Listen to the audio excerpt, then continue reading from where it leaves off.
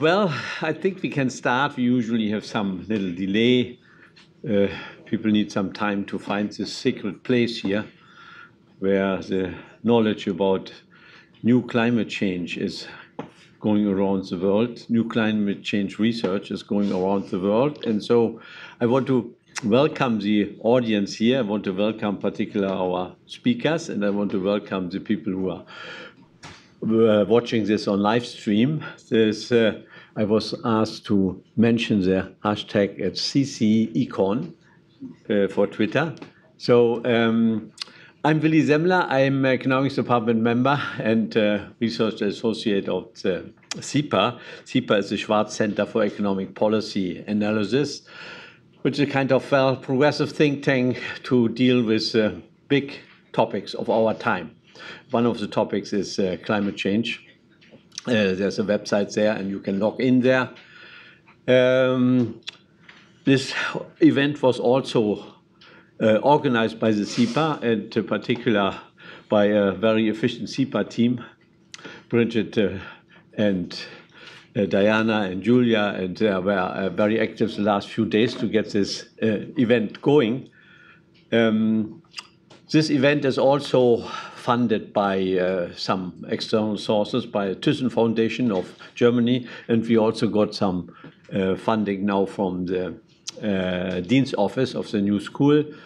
So the next two years of, of these talks are secured through the Thyssen funding. So we will have in the next few two years uh, every semester so this uh, event. And uh, we have a very special topic here today. Um, I uh, just want to remark that uh, the, we had many topics discussed here and many topics uh, where research policy oriented uh, topics, US oriented uh, policies, uh, global policy topics, Paris conference, European Commission policies, and those things were discussed here. Um, what we want to do today is studying the impact of weather shocks and extreme weather events on uh, countries, regions, uh, and how they are going to cope with this, those shocks. Uh, the climate researcher, the climate or the earth scientist, which is well, a very special group on studying uh, physics of the Earth and the climate. They warn us that there are uh, slowly rising, uh, slowly rising temperature, but there are a lot of extreme events that might come. So, uh, hurricanes, uh, typhoons, uh, flooding, heat waves, forest fires um, ocean level rises. Uh, and those events are usually very local. Uh, and so the weather extreme events uh, are local and produce big disasters. But uh, up to now, that hasn't been much, so to speak, studied. And you know, I was very lucky that I found uh, last uh, for last term in the World Report of the IMF a very big chapter that studied the impact of these weather extremes on, uh, uh, well, the economy, on people, on health, on the environment, and all those uh, those aspects. And uh, I'm very happy that we have today Petia uh, Topalova. She is a lead author, the lead uh, author of this chapter there of the IMF research. And the IMF is very much concerned also with the impact, particularly on developing economies. And I just want to mention a few things about uh, Petia. She is a deputy division chief at the IMF research department. She studied uh, and got her PhD from MIT. Uh, she worked uh, particularly on Euro, Europe as area as, uh, of uh, research competence, Asia and the Pacific uh, uh, area. Uh, she's a lecturer at Harvard uh, Kennedy School of Government, and her research pioneered climate change policies with regard to economic development and uh, international trade. And so we are very happy to have, have such an expert here who can tell us about the uh, impact and the results of this weather extreme around the globe. So welcome.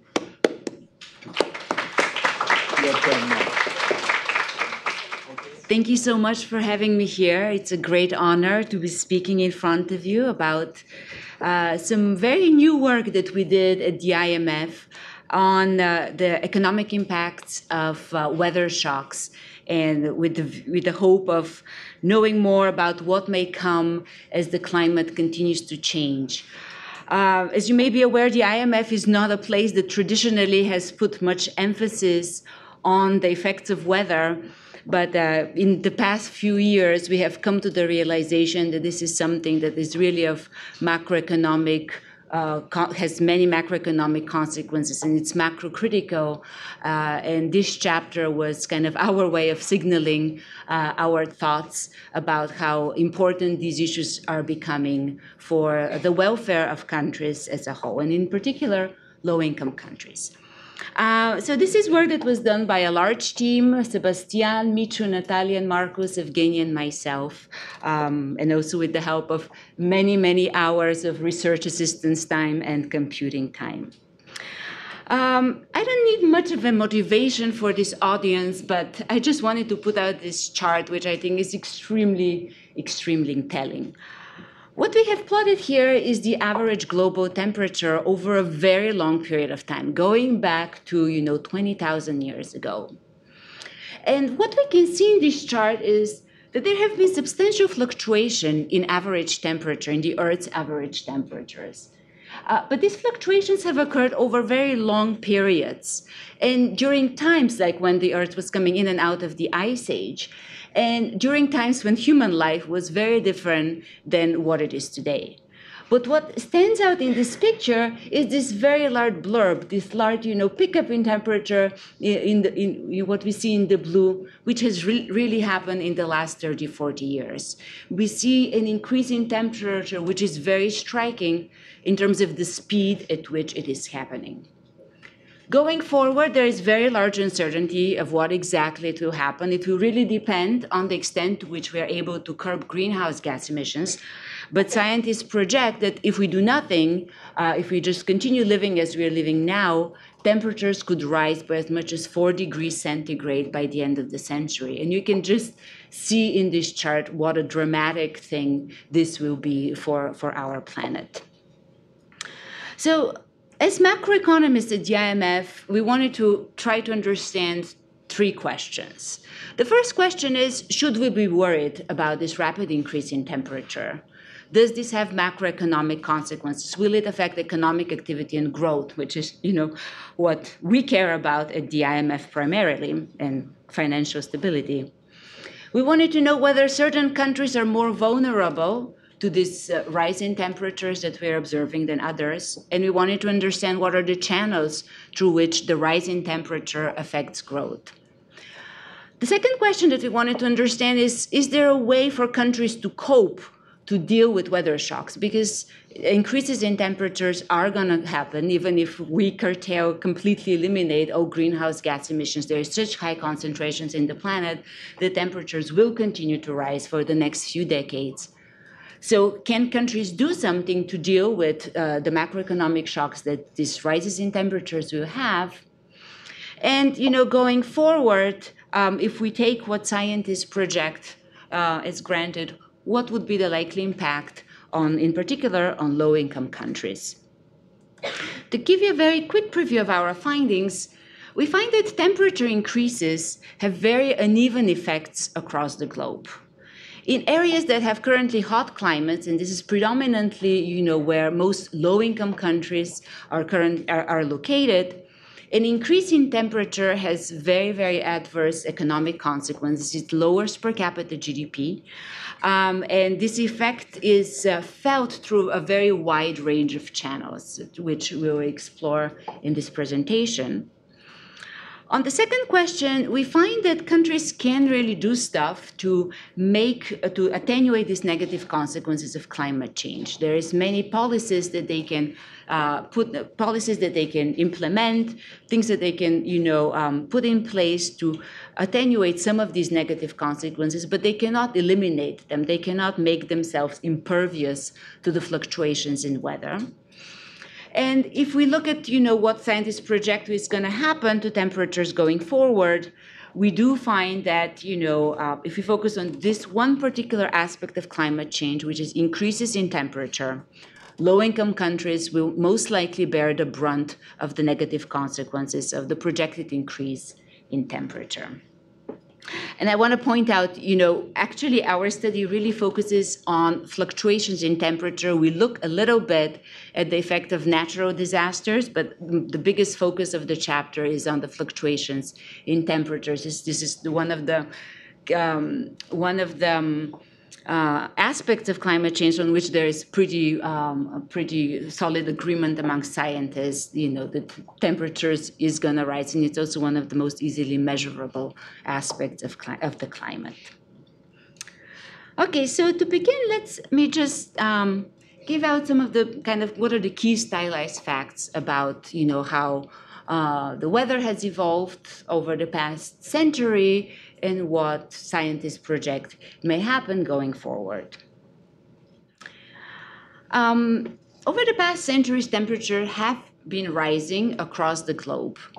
And this has occurred really across all countries uh, in the world. Here we split the economies, you know, in the way we tend to analyze them at the IMF.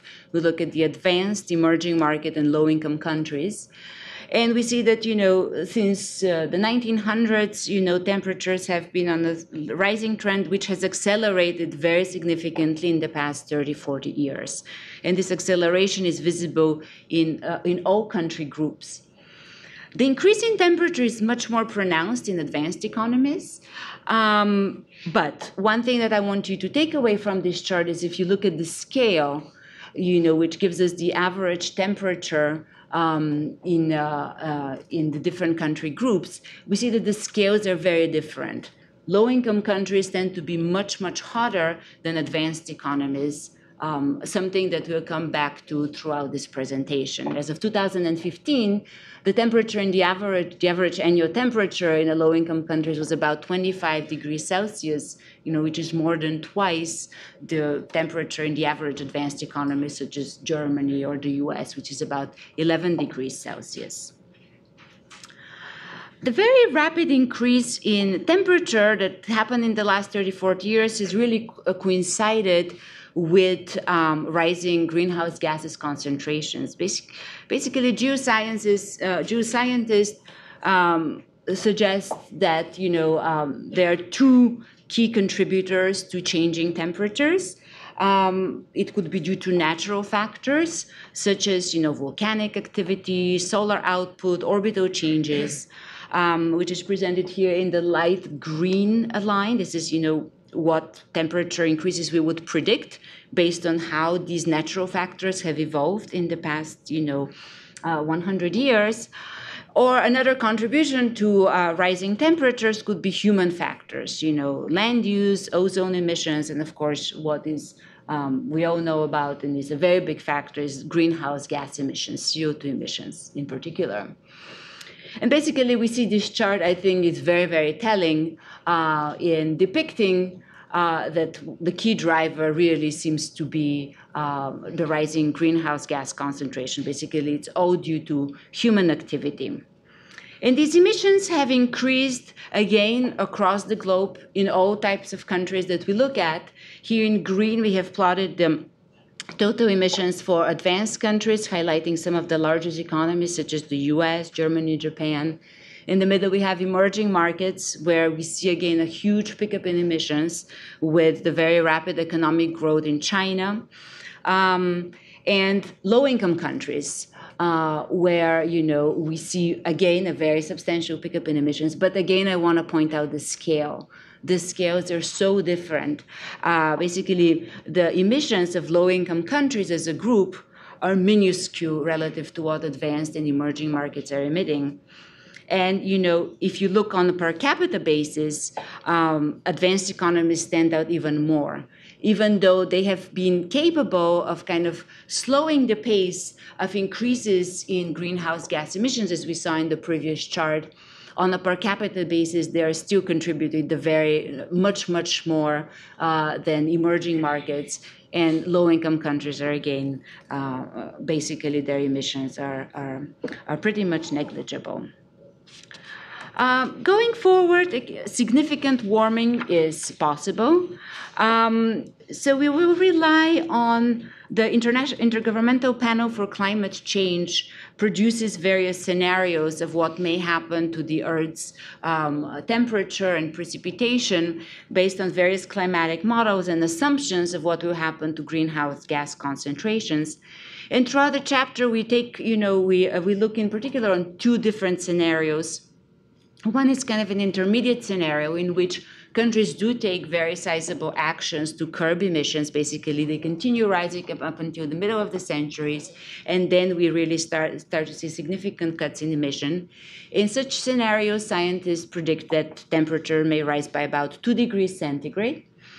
But in an unmitigated climate change scenario where we basically just continue business as, as usual, um, we, will, we could see a very large increase in temperature, up, as I said, up, close to 4 degrees centigrade.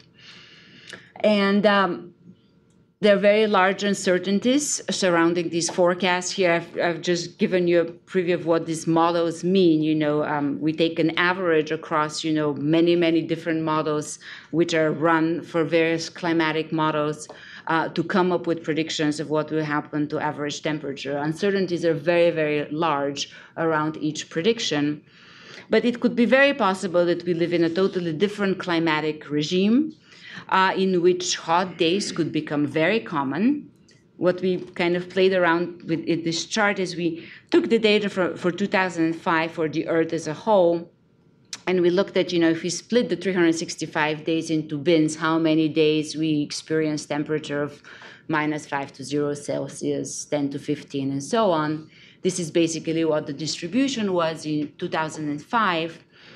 And if you look at the end of the century, uh, you know, what scientists predict may happen, this is what the distribution may look like in the unmitigated climate change scenario. We could be in a situation in which we spend a third of the year uh, with, uh, you know, daily temperature exceeding 30 degrees Celsius. So uh, very, very hot and uh, not very pleasant.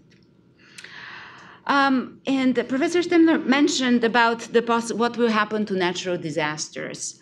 Um, we try, we said disasters could indeed become uh, much more frequent. Um, scientists actually do not really forecast, you know, what exactly is going to happen in terms of natural disasters because disasters are somewhat different than extreme climate events. Uh, you know, disaster is defined when you have significant economic loss or loss of life. Um, and so on. So, if countries become really good at coping with extreme weather events, you may actually not have natural disasters. What we try to do is look at the historical experience. We looked at, you know, for each time, you know, we try to see whether there is a relationship between uh, temperature and precipitation in a particular location and the likelihood that a natural disaster will occur. Disasters such as you know hurricanes that you know lead to significant economic damages or heat waves wildfires and so on and we, uh, we examined data over the past three, four decades to tease out what is the relationship between temperature and the occurrence of a natural disaster. And then we used what scientists projected is going to happen to precipitation and temperature to see how the likelihood of disasters is going to change going forward.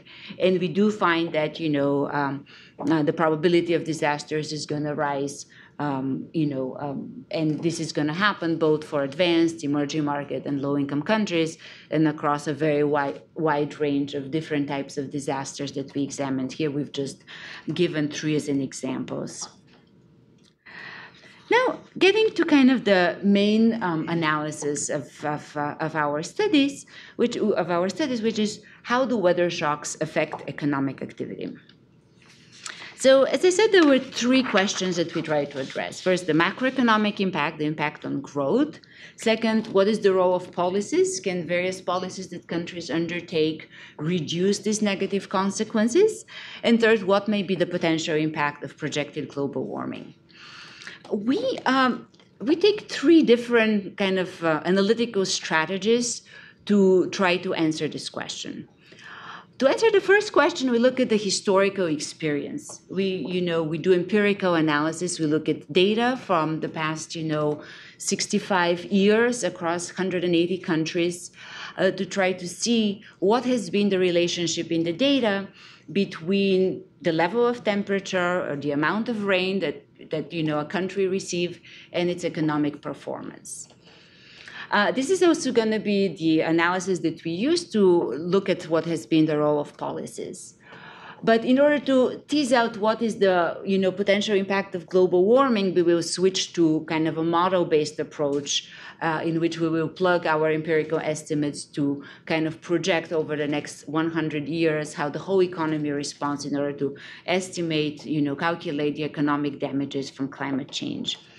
And finally, I may not get to this in this presentation, but um, but in the in the chapter we look at very uh, we have some case studies of successful uh, adaptation policy uh, uh, adaptation strategies that different countries have undertaken to deal with weather shocks and climate change.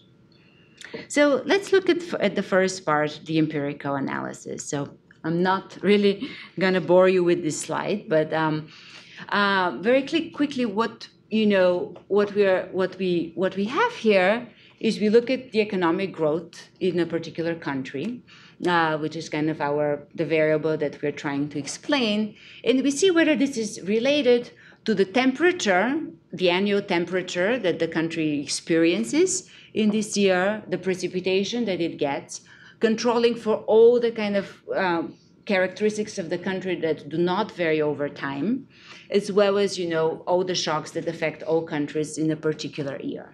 So we use data, as I said, over you know since 1950. Um, the weather data is interesting because um, you know what scientists give us is they kind of take the data from various weather stations that country have that are spread across the world in not very even manner uh, they use their climate models, they take data from satellites, and they combine all of this and they give you for each, you know, they divide the Earth into this grid, you know, of like, let's say 20 by 20 mile grid. And they give you for each one of these little, you know, um, parts of the Earth what has been the temperature and precipitation for a particular month. So we take all of this data and we and we put it back together to match it to the country uh, where these different grids are located. Um, and this is how we bridge, you know, what the, uh, the unit of analysis that scientists have, which is, you know, this uh, location on Earth, and the economic uh, unit that we tend to analyze, which is the country. Um, so we allow the relationship between economic growth, economic activity, and the weather variables, which, as I said, are measured as the average annual temperature and precipitation, to be nonlinear. And uh, in doing so, we built on a very influential study uh, that came out in Nature uh, by uh, Hsiang, uh, uh, Burke, Hsiang, and Miguel. Um, that had kind of uncovered for a smaller sample of uh, set of countries and you know slightly you know smaller number of years that there may be this uh, nonlinear relationship between the two. And what we find is uh, indeed we confirm this uh, nonlinear relationship that exists between economic activity and temperature. We do not find a very robust relationship between the amount of rain that comes that, that a country receives in a year and its economic performance. But for temperature, it is indeed very striking. So I will put it in a more uh, intuitive way in a minute. But we do see that, you know, at low levels of temperature, an increasing temperature actually boosts economic activity. This is why we have this positive coefficient on the temperature term. So, you know, if basically if you're in Siberia and temperatures rise by a little bit, it may actually be good for growth in that region. Maybe you know you will be able to farm like a, a, a wider set of crops and so on. However, at higher levels of temperature, an increase in, you know, in temperature actually will hurt economic activity. And there is this optimal temperature of about 13 to 15 degrees Celsius, which is optimal for economic activity. And this coincidentally is, you know, the temperature, the average annual temperature in the United States and Germany, in very, very, of some of the richer countries in the world. Um, as I said, these findings are incredibly robust. We looked at very many different sources of weather data because it's not just you know one set of scientists that has tried to put together and construct this uh, weather data for you know uh, the Earth as a whole. Uh, we examined very dif- very different sources. Uh, we looked at very different sources of um, economic growth data. Um, we, we looked at subnational, you know, anything we do, uh, this was a very, very robust finding. Uh, so what does this mean? What this relationship means? Um, so what we plot in this chart is kind of the mar- uh, in the blue line that kind of goes diagonally, is we have the impact, the marginal impact of a one degree Celsius increase in the temperature. And on the x-axis, you know, is the temperature in a particular country because it says because the relationship is nonlinear, how an increase in temperature affects you depends crucially on whether you're a hot country or cool, cold country, whether you're above this optimal temperature of 13 to 15 degrees Celsius or below. Um, so we see that, you know, in if you're very cold country, the effect is positive, and if you you know move past the 13 to 15 degree, the effect becomes negative, and it you know these uh, dotted lines indicate the the confidence interval. So at some point, you know, this effect becomes statistically significantly uh, negative. Um, and what we have plotted here, to just give an illustration, is with the advanced economies. You know, we have plotted the distribution of advanced economies across the different temperatures. So, you know, we see that about, you know, 10, 12% of advanced economies happen to have temperature of about 11 degrees Celsius. And we see how, how this distribution is across, uh, um, across, you know, across temperature. And what is very interesting to see is that uh, for the median advanced economies, which is you know the you know this thing in, which has happens to have a temperature of about 11 degrees Celsius, there is no discernible effect of weather. Like a small increase in temperature is not really going to affect you know output in the U.S. or in Germany or a country that has on average this type of temperature. However, things changed very dramatically if we look at a different set of countries. Now let's plot emerging markets and see, you know, how um, how the effect of an increase in temperature, uh, how how they will experience that. And emerging market and developing emerging markets in particular are substantially hotter countries. They just happen to be located in hotter parts of the planet. Uh, so for the median country, which is again where we have this vertical red bar, um, the median country happens to have temperature of about 22 degrees uh, Celsius. Um, a one degree increase in temperature lowers output by about 1%. Okay, this is what happens in the, in the year in which the increase in temperature occurs. And if we look at low income countries, they happen to be even hotter. They're, they happen to be located in even hotter places. Think of, you know, all of the countries in Africa and, you know, other tro- tropics and subtropics. Their average temperature is about 25 degrees Celsius. Um, you know, with countries that are even hotter than that, quite, we have quite a sizable mass above that. And for them, the negative effect of an increase in temperature is even deeper in some so we can put all of these results together and you know for each country not only for each country but for each of those you know little um, uh, little grids of the earth we can compute what would be the you know according to our empirical estimates what would be the effect of a one degree increase in temperature. And this is what we have plotted. Um, so what would be the increase on the per capita gdp the thing that we that we care about we see that, you know, again, in the very north, there's this part of the earth where this will be beneficial, you know, pretty sizable increases. So one degree could actually boost economic output, GDP per capita by 4%. But, you know, there's big chunks of the earth, and then there's, you know, uh, kind of a vast majority of the US and in Europe, where the effect is indistinguishable from zero. Basically, there is not much of an effect. We have colored these in, in gray. And you know, in the countries in the tropics and subtropics, we see a very, uh, you know, very a lot of red, very, you know, um, uh, very negative effects.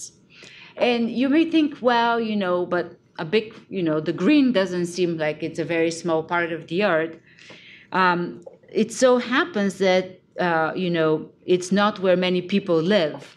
So what we have done here, we have reshaped each country based on the number of people that live in that country. And now what we what we see is that you know the places that would benefit from an increase in temperature are places where pretty much very very few people currently reside, and where uh, you know 60% of the world resides currently uh, are the places where we'll see very large negative effects of an increase in temperature. Okay, so basically the adverse consequences of temperature increases happen to be concentrated in precisely the places where most of the population of the world lives. These are not economically very significant places. They produce about only 20% of the world economic output currently, but they, they're home to about 60% of the population. Um, what we have discussed so far is kind of the contemporaneous effect of an increase of increases in temperature. You know, what happens in the year in which uh, in which temperature rises. But what is interesting to know is like, does the country recover fast, or is this effect long lasting?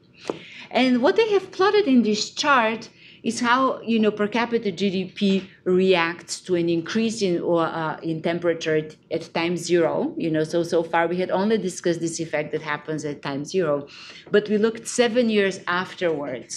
Does economic activity bounce back, or does it stay depressed? And we have done it again for the typical advanced economy, which has you know temperature of 11 degrees Celsius, the typical emerging market, and the typical low-income countries. And what is very striking is that these effects are very, very long lasting. Even seven years down the road, you see uh, that economic output is depressed relative to what it would have been in the absence of the increase in temperature. So that's something that is, uh, that is pretty puzzling. Now, there's a lot of uh, literature out there. I mean, agronomists, you know, have studied, you know, um, the impact of, you know, optimal conditions, optimal weather for uh, different crops, and so on. So, in some sense, we were expecting that this effect will be really driven by what happens to the agricultural sector, right? I mean, if uh, it's really hot, if there is a drought, you know, a lot of crops may fail, and so on. So, but you know, in many countries, agriculture is not anymore a very large share of GDP. So what we what we did is we examined, you know, kind of the effect of these temperature shocks on the different um, output, the output of the agricultural sector in each country, the manufacturing output of the output of the manufacturing uh, sector, and the output of, of the services sector. And what we, we find is that basically the output of the services sector is pretty much not affected by changes in temperature. You know, we see that this line, you know, is, uh, you know, it's a little bit below zero, but, you know, it's not statistically different from zero.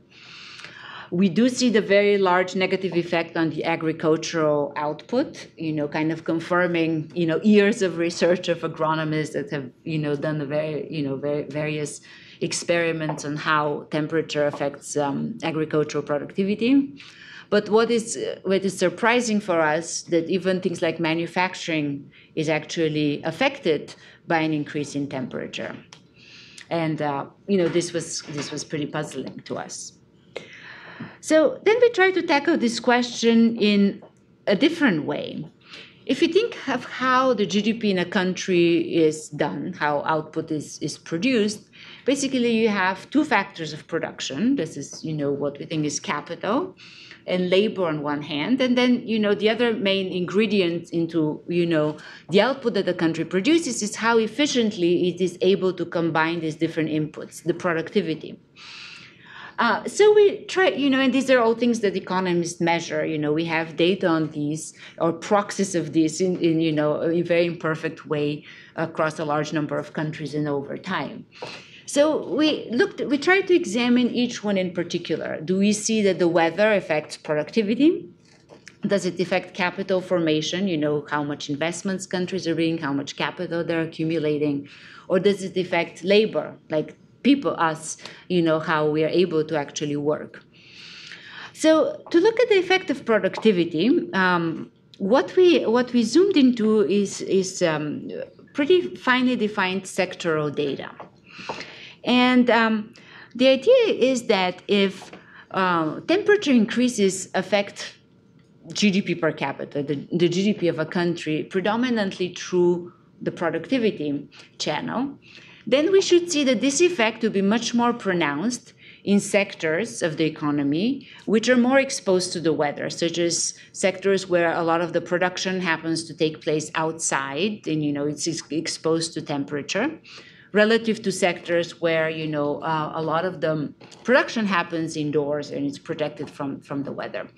So uh, we found this data that gives us the production, you know, um, the productivity per worker um, across you know pretty finely disaggregated sectors and basically we could we could sort them you know into how exposed they are to the weather. So sectors like construction or agriculture or you know uh, will be um, uh, will be considered exposed to the weather while a lot of things that are performed indoors, such as you know educational services or public administration, basically a lot of the services sector are the ones that are not you know performed outside. Uh, manufacturing um, tends to be uh, uh you know in especially in a lot of emerging market and developing countries, it is typically takes place indoors but in many of these places, there is no access to air conditioning, and a lot of manufacturing processes actually generate a lot of heat. So, you know, uh, people tend to classify them as exposed to the weather.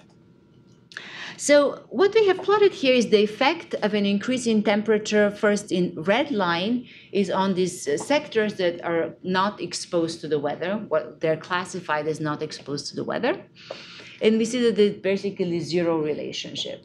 It's, it's exactly zero, the estimated coefficient of how productivity per worker in this sector reacts to, um, to temperature. But in you know in hot countries you know such as the emerging market and low income countries we see very large negative effects on labor productivity in you know for workers who work in sectors that typically take place out outdoors, such as you know as I said, agriculture, fishery, far- farming, and, and construction, and so on.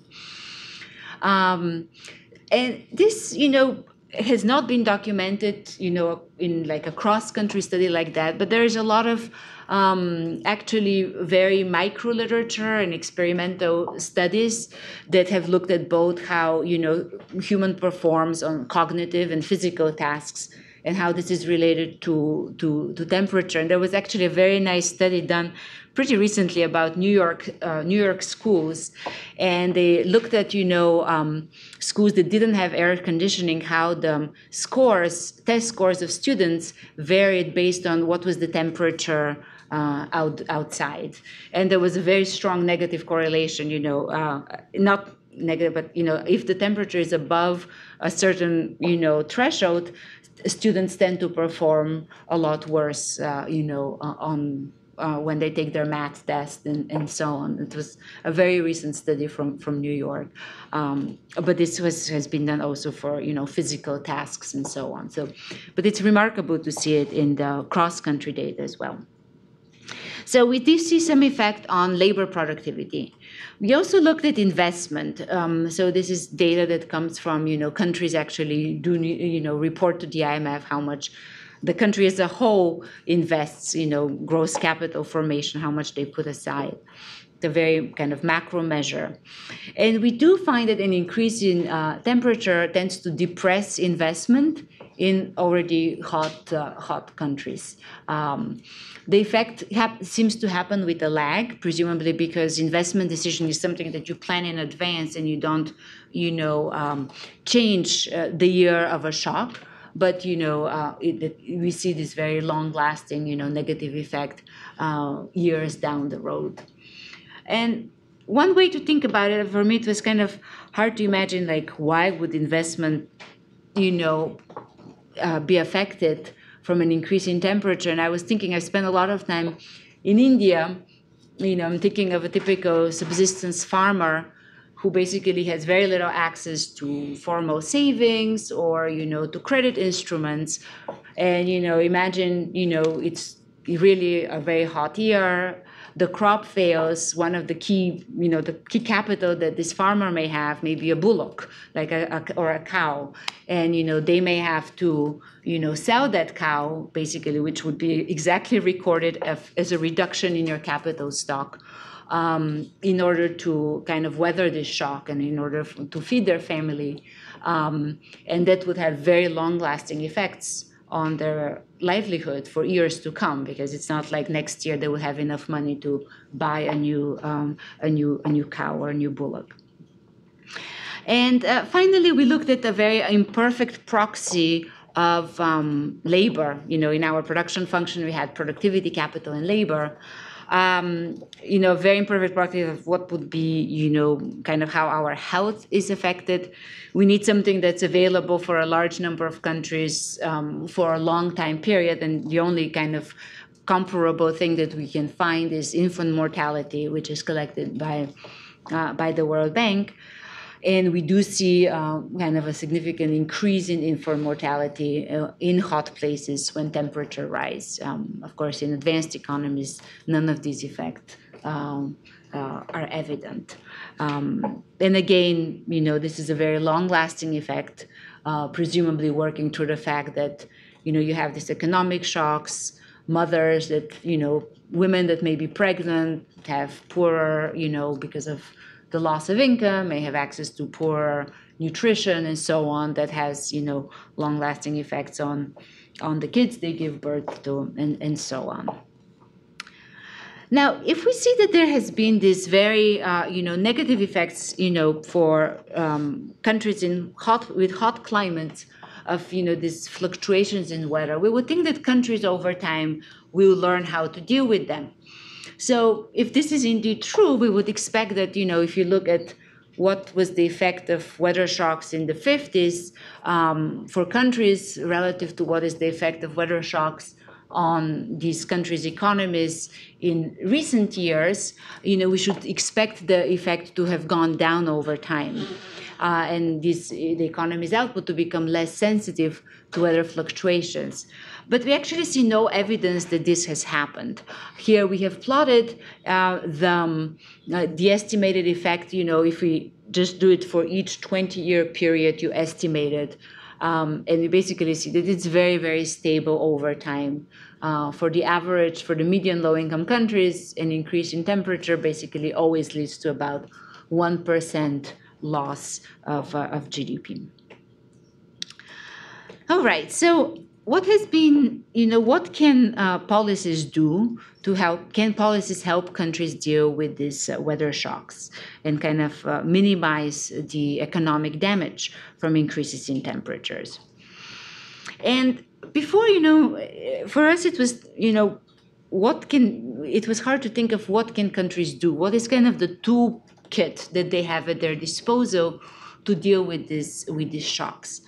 And, you know, we thought of splitting them into two bins. Kind of with blue, you know, are kind of very traditional macroeconomic policies, structural policies that countries have at their disposal that make, makes them more resilient to any type of shock, be it, you know, an exchange rate shock or commodity price shock.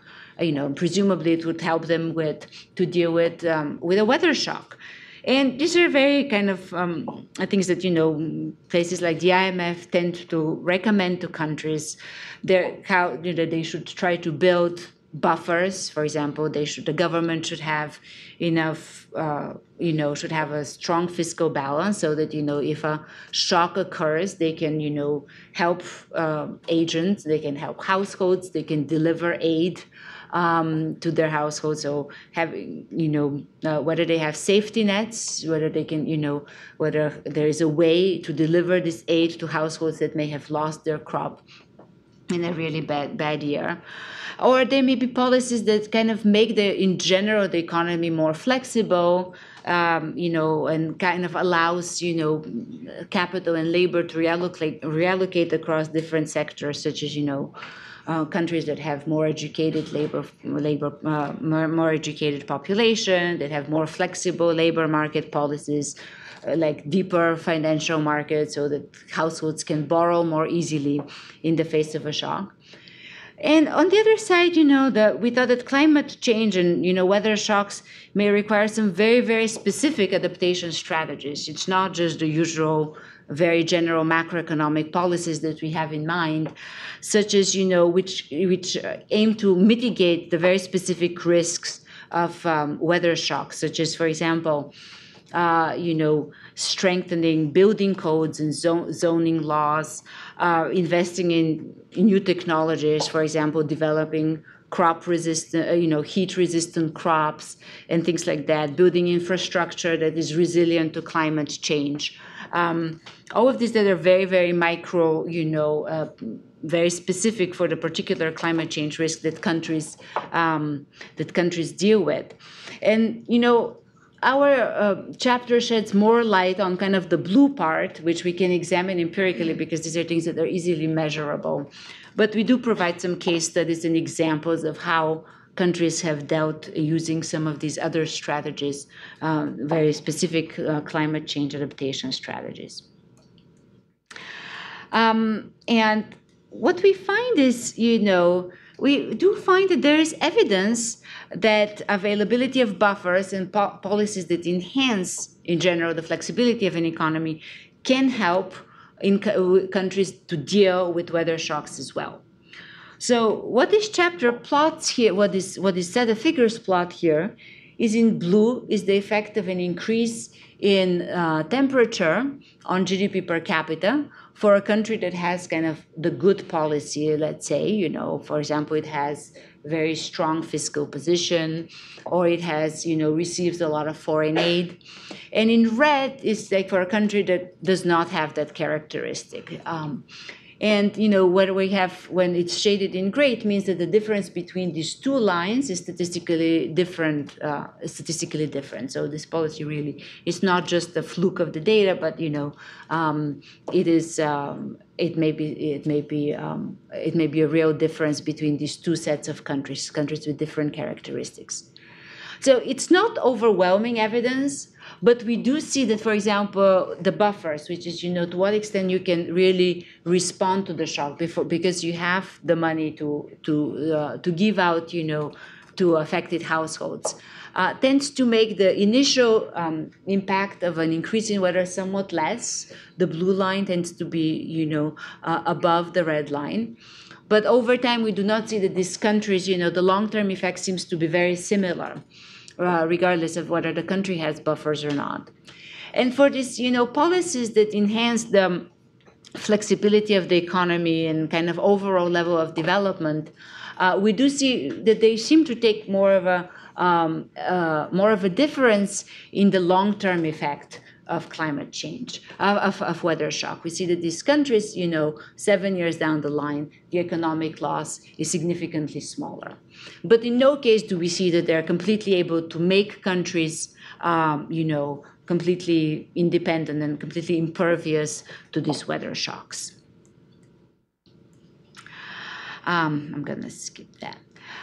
Um, one other strategies that countries, you know, that individuals have to deal with climate change when they see you know that you know okay well this place you know i cannot really grow my crops here anymore basically they may decide to relocate this is kind of you know the ultimate strategy of dealing with, uh, you know, with these adverse um, uh, shocks.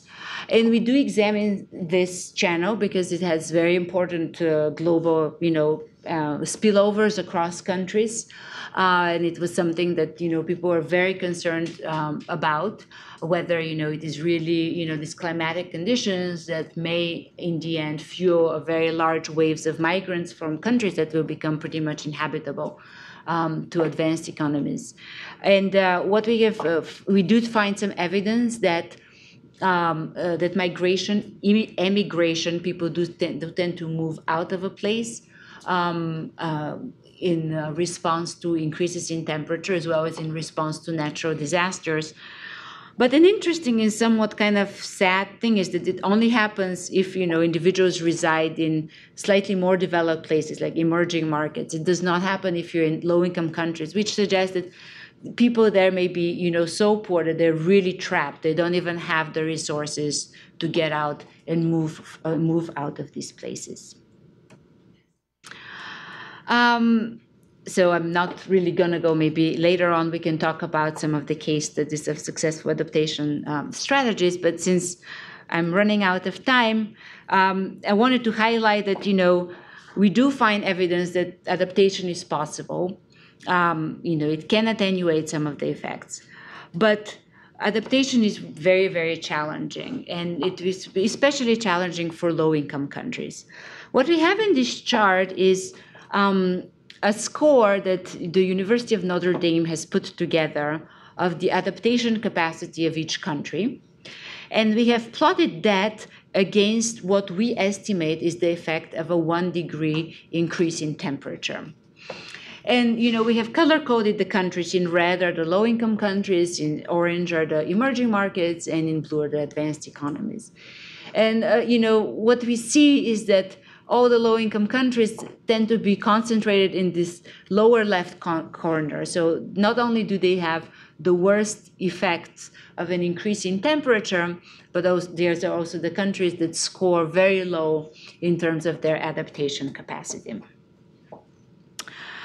Um, the impact of global warming. Um, what we do is we take these estimates that we found about the historical relationship between an increase in temperature and economic activity.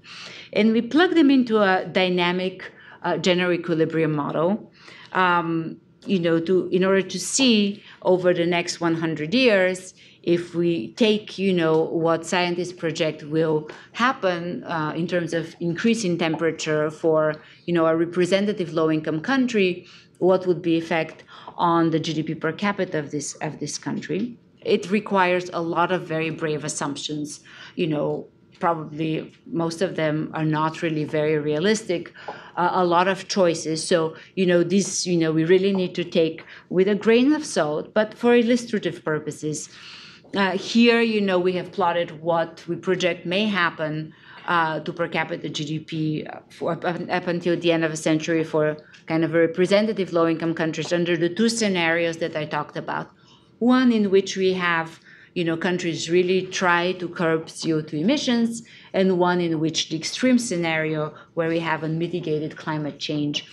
And we basically see that in the unmitigated climate change scenario, the losses could be pretty sizable with very, again, very large uncertainty uh, about what these losses will be. And if we do this for the world as a whole, and again, we plotted what could be the, the, the effects. You know, again, we see, you know, in red, um, you know, many, much, many more parts of the world now become red because, you know, little by little, even some parts of the advanced economies will warm up significantly above this optimal temperature and further increases uh, is gonna is gonna affect them as well. So to summarize, um, what we find is that temperature shocks have very uneven macroeconomic effects across countries and even within countries. You know, you know, certain parts of the U.S. even will be very, very adversely affected. We do find that these negative effects are concentrated in low-income countries. We find that this effect of increases in temperature operates through numerous channels it affects agricultural output, but also it depresses productivity of workers exposed to heat, it reduces investment, and it has adverse health consequences, as we saw with the results on infant mortality. We do not see much evidence that the sensitivity of output to weather shock has changed over time, which you know does not really bode well for countries' ability to adapt. Um, and if we take our you know empirical estimates and we put them in the model, we would, uh, you know, it implies that climate change could have pretty sizable economic losses for most low-income countries. Um, we do find that policies, domestic policies, can help. So, you know, low-income countries are not entirely left on their own. They can, you know, do something to help themselves. Uh, but you know we have to be realistic about how much uh, they can really do uh, because you know they often are countries that with very severely limited resources. Um, they will suffer a very disproportionate share of the economic damage of, of uh, the economic damages of of um, climate change. The, as we saw, they have the least capacity to adapt, and you know they actually have contributed very very little to global warming. So in some sense, they're really the victim of something um, uh, that that they really had nothing to do with. So, which brings us to the last point that the international community will have to play and must play a very key role in helping countries, both low income countries, but all countries, cope with climate change. This is justifiable both from an equity standpoint of view, because indeed they were the ones that contributed the most to this problem uh, but it's also justifiable from an efficiency standpoint of view because it will help them internalize this negative externality that they are exerting on um, on their own end for for, for other countries. Um, but in the end, you know, um, as we said, all policies, you know, can only go so far in helping countries cope with climate change. So we really need to continue um, trying to curb emissions and trying to kind of stem uh, temperature increases. That's kind of the only way that we can deal with uh, the issue. Thank you very much. Thanks a lot. Thank you. Um, now, let me uh, explain what we have planned now. Um, this was a, a wonderful uh, presentation of recent research of the IMF. And the IMF was not always uh, on the side of the losers of this world. Uh, but recently they have become more and more, have recently studied more and more also the losers of the globalization, the losers of uh, economic uh, welfare increase, the losers of growth. And one of the uh, very important study is here also, as you can see, the impact on uh, uh, low-income countries, the impact of climate change and weather disasters. And they are a very limited capacity to react. And um, now what we have planned is, so to speak, some remarks and comments from another expert in this area. And oh, I have to go there. You might think that it all looks pretty gloomy and dark, what you see there uh, coming. Now, um, I was lucky uh, to have one other expert here just at the moment in New York who's traveling around the globe. And this is Prem Shankar Jha. He wrote a book on dawn of solar age. So, and I asked him, well, you don't seem to be so pessimistic. No, he says, well, this is a great opportunity now for developing economies for low income and for emerging market countries. So this might be a very provocative uh, hypothesis, and uh, we uh, would like to listen to his explanation there. And I just want to introduce you to Prem Jha. He is an economist, writer, and journalist mostly working in India, but he is visiting a lot of Western, West uh, European, uh, European and American uh, institutions and uh, uh, universities. Oh, he was in Oxford and Harvard and Indian Institute of uh, Management. He was a former member of the Energy Panel of the World Commission on Environment and Development, which had some input in the Rio summit. And he was former advisor of the Prime Minister of um, uh, India and um, Energy Journalist of the Year uh, award winner of the International Association of Energy Economics. So a very active uh, person on the climate front, and you will see some very interesting hypotheses now. So welcome to the new school.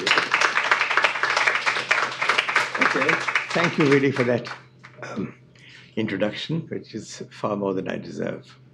And Petia for a, for a truly magnificent presentation.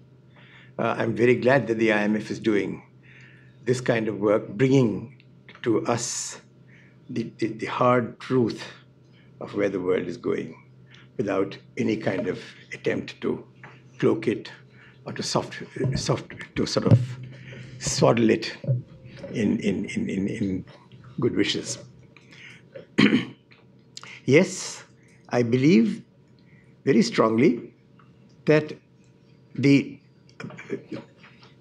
everything that Petia said about the the lowest income and, the, and the emerging market uh, countries being the worst sufferers is absolutely true. But at the same time, if you want to, to get out of the trap of global warming, then in fact it is these precisely these countries which hold the answers. Uh, how does one change to the next? One just clicks on something, does one?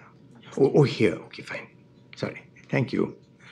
the IMF study has been based on the assumption, it's implicit, in fact, it's quite explicit, that there's only so much you can do to reduce global warming because it is not really easy, or even possible perhaps within this century, to move out of fossil fuels altogether. Uh, I strongly disagree with this presumption. And I wish to tell you, uh, go on to tell you why. Um, first and foremost, the, the biggest question is Is there another source of energy which is sufficiently abundant to replace fossil fuels, which, for which we have now a truly gargantuan appetite? The answer is there is only one source left in the universe, and that is the sun itself. I think you all know that. Um, sun's energy comes to us every day of the year in four forms as light, as visible light, as heat, infrared waves, as wind, and as biomass. Wind and biomass are indirect forms in which the sun's energy reach, is, becomes available to us. Light and heat are direct.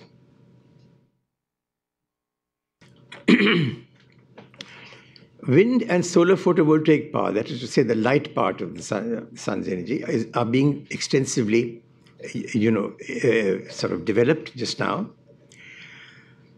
But I'm afraid, uh, and there are sort of very strong sort of hopes that this, these two, either singly or to, well together particularly, will be able to meet most of the needs, will enable us to shift a large part of our of, of our uh, energy consumption out of fossil fuels. I um, think that this is not going to be possible. Wind power potential is limited, although the, the, the, the, the, amount of wind is enormous, the power in the wind, but we can only use the wind which is within about 200 meters at most of the Earth's surface, and this is about only one twelfth of the total, uh, you know, kinetic energy in wind. Uh, by the time that you have brought this down through various stages to where they turn turbines and gener- generate electricity, you get a sort of the second law of thermodynamics works so so far that you really don't get a lot of energy left, and then you have the problem of where will you put the wind wind farms. So there is a limit there. This solar photovoltaic has another different kind of limit, which is that the materials that are required are very rare.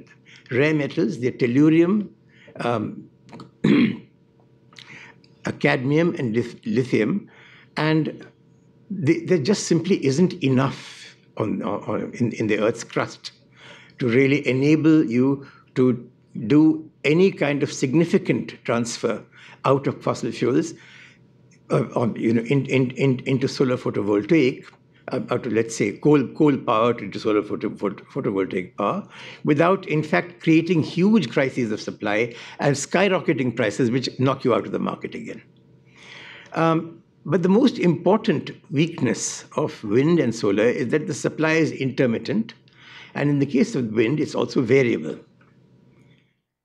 And what the world needs is continuous power on demand as much as we want, whenever we want. That baseload power is simply not possible.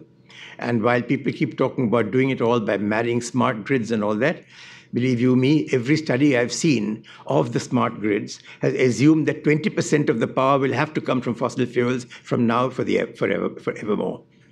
And that, and that in that basis, of course, uh, we, you know, we, we don't have a future.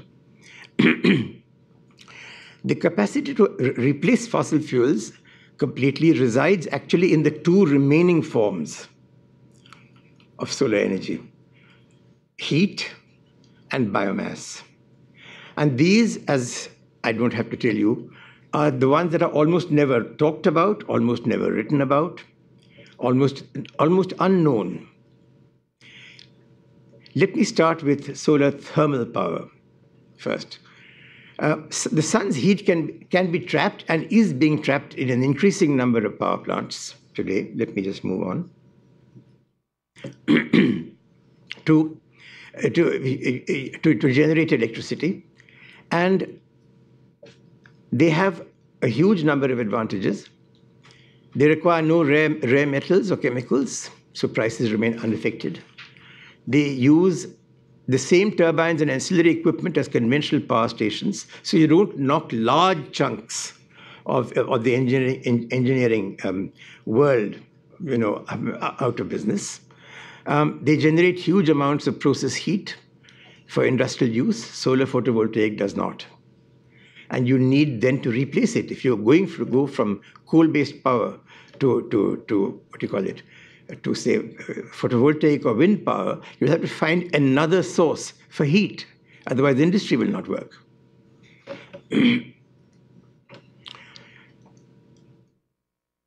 but the most greatest advantage of uh, solar thermal power, um, which of course, look, I suppose all of you know what I'm talking about. I'm talking about concentrated solar thermal power.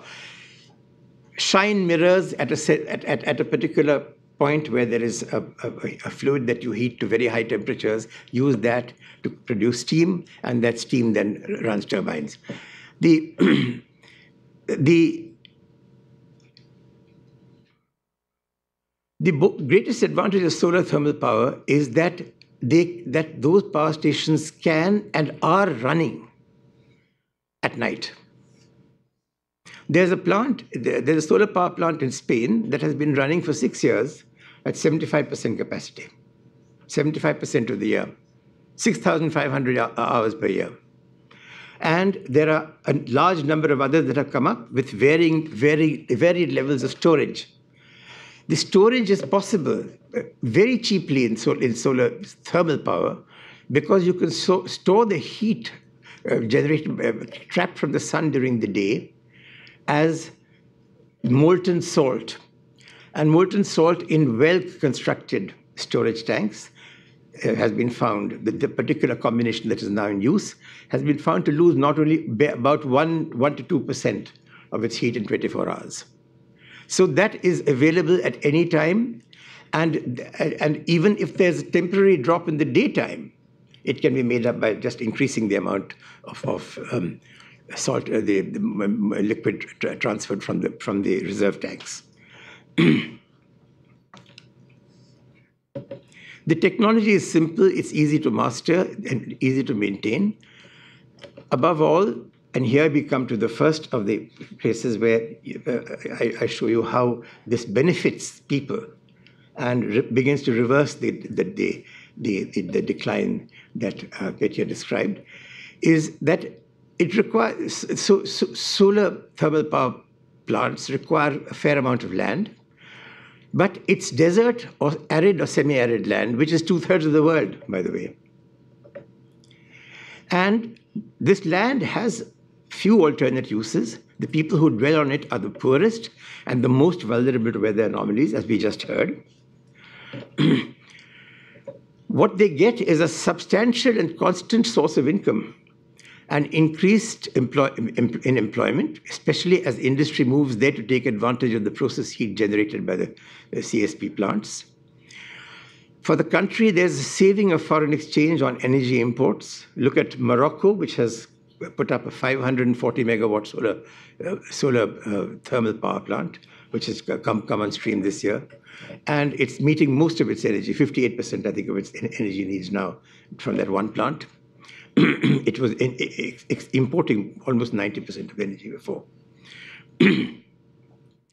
then the earning, then there's the Morocco intends, for example, to ex export from the next three plants that it builds, next two plants. Uh, and they in, intend to export the energy, the, the, the electricity to Europe. So you get earnings from exports. And finally, for oil importing developing countries, immediately, and for those dependent upon coal later on, you get shielding from the shocks of inflation, which are very destructive politically and socially within your country.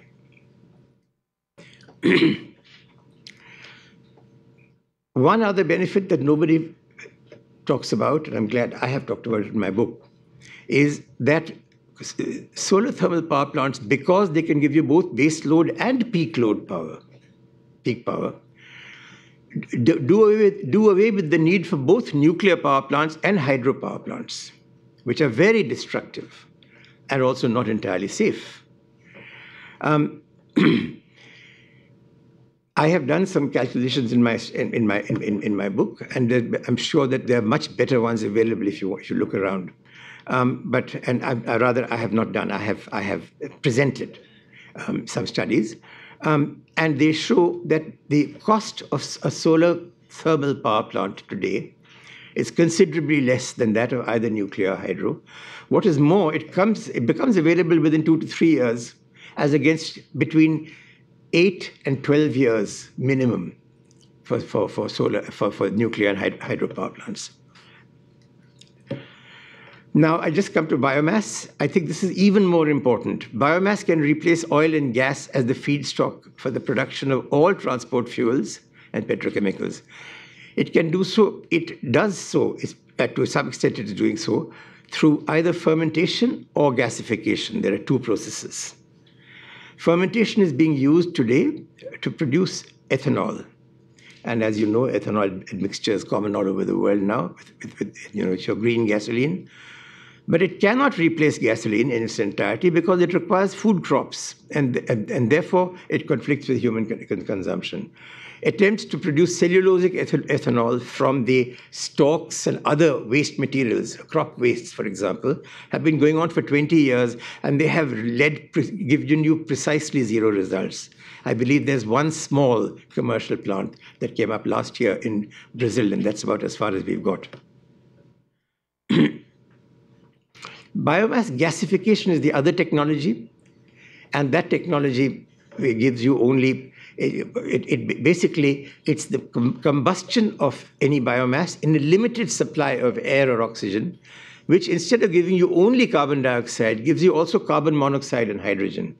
Carbon monoxide and hydrogen are the basic, basic building blocks of the entire petrochemicals industry, of organic chemistry, in fact, and can uh, give you every transport fuel as well as every petrochemical that is being used today, that being produced today. In fact, all of these are being produced with carbon monoxide and hydrogen obtained by cracking either oil or natural gas. You first crack them to get carbon monoxide and hydrogen. Here you you you you you you gasify the biomass and you get the same thing, and you can you use that, and the rest of the technology is the same.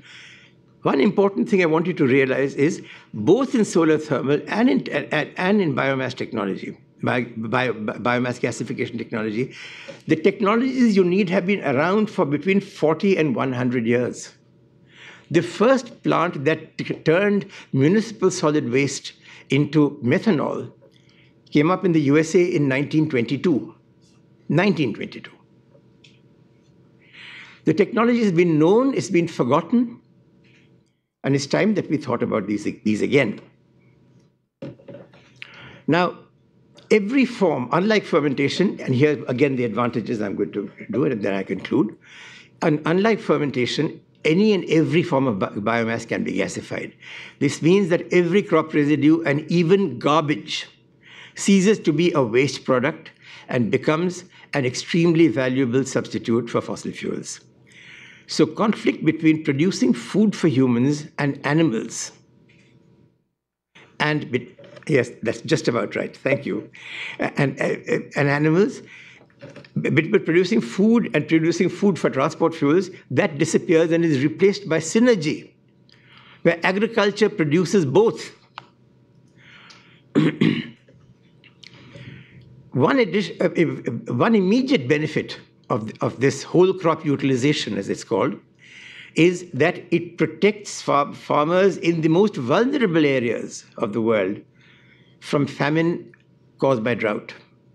Because when there is a drought, the food part of the crop is the first to go, but the stalks and things remain. They may be a little, they may be smaller. Um, you, you may find that the, the grain has not come, as I've seen myself in famines I've covered in India. Uh, but, the, but the rice is, rice, rice is still standing, or the wheat is still standing. Um, now, that part of the, of of the crop now becomes actually, I've done some calculations, more valuable as a transport fuel than, than, than the food that you would, you're selling. And what this means is that there's, for farmers, there's two things. If one if you get both well and good but if you don't you at least have one to sell regardless of uh, almost regardless of weather conditions. I can imagine a drought so severe that even the stalks don't grow and nothing grows yes that happens but the point is the areas where that happens are very small compared to the areas that are routinely hit and ravaged and, and devastated by drought now you can imagine what this would mean to farmers in Africa, in, in the Sahel or in, in, in, Western China or southern India and Pakistan. It, it, it's, it would be the, it's the most powerful insurance you can ever think of. And at the same time, it solves your, your, your, your, your, your, your helps you to, to deal with, with, with, with climate change. Most important, there are no more famines. I'm going to stop there. Thank you. Thank you very much. for the very positive outlook, and thank you both for the excellent presentations. What we want to do now, uh, the two speakers may go here, and then uh, maybe uh, you can, if you want, to respond to each other uh, for a few minutes, and then we open up the floor and you can ask questions. Yeah? You want to, yeah, please sit down, and then I'm going to sit here somewhere. So. Uh, then I will later call for some other questions. All right, so you want to respond briefly to each other to? Uh, sure. Yeah. I think I, I think your presentation was absolutely fascinating, and I I really hope that this is true. and uh, how do we turn it on? Oh, it's on already. Okay. Yes, and, and I really hope because it paints a much. Uh, mm. Must be a drop here. Is that it? Is it on now? Yes. Yes. Yeah. Yeah, it, it paints a much uh, brighter future.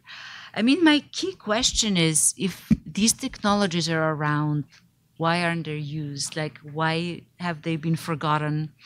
What's the market for them? Is it, uh, you know, how can they? Well, they haven't been entirely forgotten.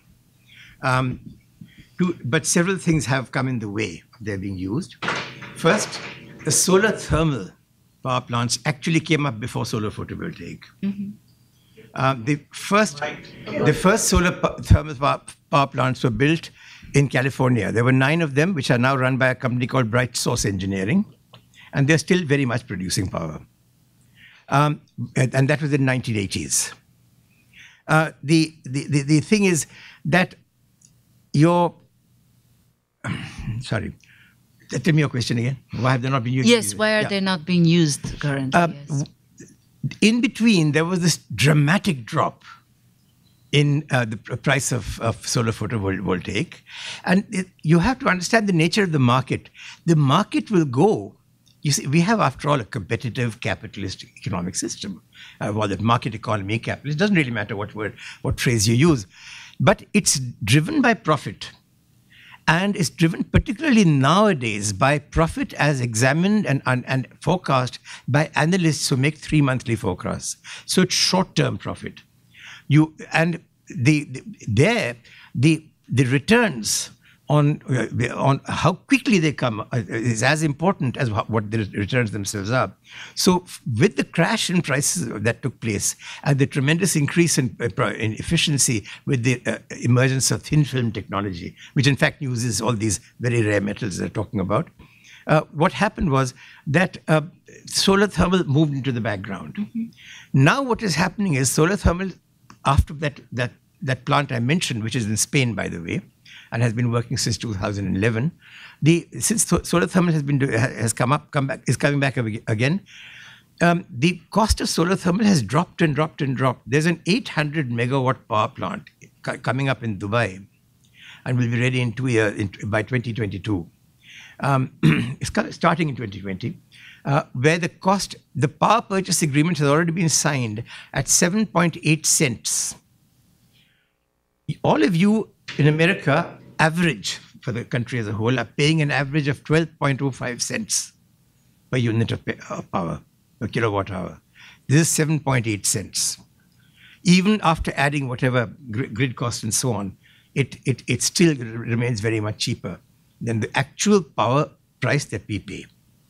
So it doesn't really matter that it's good, it's still a little more expensive than solar photovoltaic the, for the market, that's very important. For the investor, that's very important. If he had to choose between 7.8 and 6.2, let's say, he will go for 6.2 every time. He is an individual. He will look at today's prices and he will do that. He will never take the macro picture of what happens if all of us do this. If all of us do this, there is no, no there, there's no tellurium, there is no cadmium, you're, you're done for. And you're up a blind alley. And by the time you come back, you've lost 20 more years, mm-hmm. which you can't afford. That, that is one, one, one reason. And the second reason in the case of, bio, in the, in the case of bio, biomass is that it simply does not interest the West where the technology is being promoted because you have, all, you have the control of all the oil in the world just now. Quite simple. It's a question of urgency of need. So the question then arises whether the urgency of need which one will prevail you know? Are we going to be able to switch to these clean technologies before you know the concentration of greenhouse gases you know keeps rising? Because yes indeed with the recent drop in oil prices that we have seen uh, over the past you know since the big boom in 2007 i mean there is a lot of concern that you know this investment in green technologies have stalled and the appetite for that has gone down with adverse consequences for yeah, emissions and so on. I'm very glad you mentioned the, the, the drop in oil prices. First, there, there, there, have been three in a row 1986, uh, 2008, and then 2014. Each time there were a shelf of projects in biomass based transport fuels ready and, and, and about to be implemented, and they were shelved. In the first lot, I was personally involved in Bombay. Mm-hmm uh, then Bombay, now Mumbai. so what it means is that if you want this to, to, if you want these new technologies to come in, you've got to create a stable investment environment. Mm-hmm. There is no stable investment environment if the countries of the world don't jointly decide that we will not allow the yo-yoing of oil prices and, which is based upon commodity futures, speculation, um, fracking, uh, a new technology coming up. We will not allow these to, to prevent, uh, prevent uh, to, to change the investment environment of investors. Otherwise, nobody will invest. You don't need subsidies today. You need a stable investment environment, which means that we need a joint decision for every country to decide that we will base our future oil product prices upon the long term uh, price that oil actually has mm-hmm. commanded and is likely to command. That I think is extremely important. Mm-hmm. Uh, there are other things I will not, you know. Maybe uh, can we go to the audience questions? So um, we will start some rounds of questions. I have uh, uh, maybe two remarks. Um, one is that most of these new technologies, renewables, they have a hard time to be scaled up on a level that will really make a difference in the long run. So that might be one important question. So this is the scaling, can you scale those up? Of course, there are many, many new uh, innovations, but the scaling is a problem. The second point is, and uh, what uh, Edenhofer and others say, if you look around the globe, most of the uh, fossil fuel energy in developing world is coming from coal. And there was a wonderful paper that uh, was uh, actually Sanjay sent this around on the also coal in India. So to get reduce uh, the uh, fossil fuel energy, you have to reduce this is the coal production and the coal supply for this. So to make a difference in the carbon budget, what people call the carbon budget. The carbon budget is, so to speak, threatened to be surpassed. Carbon budget is, we can compute the uh, two, one uh, degree uh, or 1.5 degree uh, temperature requirement of Paris, and one can convert this into how much carbon can we still emit emit in the atmosphere. And this is called the carbon budget, so to speak. This uh, tends to be uh, surpassed through particulars through coal. So um, these are two questions, but we can take more questions and then um, each of you can respond to those. So questions from the audience? Yeah?